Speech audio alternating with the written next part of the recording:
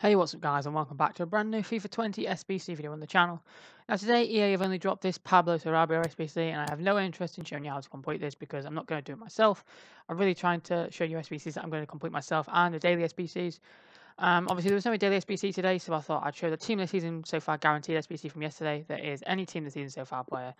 Um, so we'll get into it.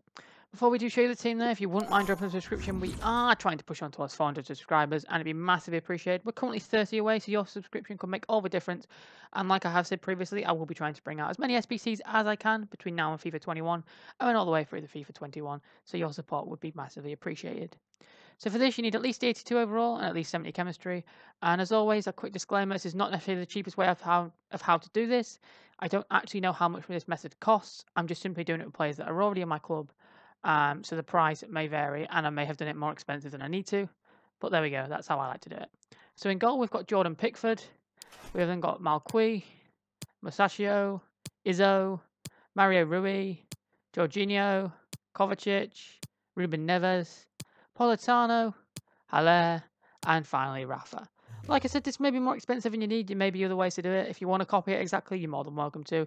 If you want to copy the chemistry links, again, you're more than welcome to. But I'm just showing you one way of doing it. We Wouldn't need loyalty.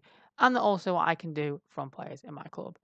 So we're going to go ahead and submit this now and get the any team of the season so far player. And hopefully, hopefully we can get something very, very nice.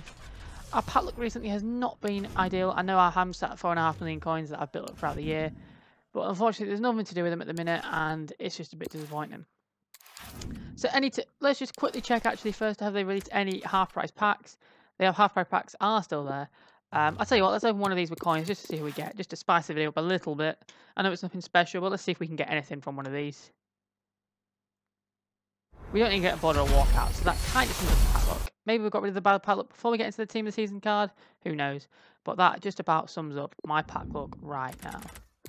We'll just send all them to the club and discard them. It might be a useful way for me to fill my club up, so I may have them off camera and just record them in case I get anything. But any team of the season so far, player, what can we get? We're obviously having one of the big leagues and one of the big players. I know FIFA's a bit dead and I haven't played the game in months. But it's always nice to pack in at least half decent from one of these. It's going to be Argentinian. It's going to be a centre mid. Uh, it's going to be from Mexican league, I believe. I think it's like,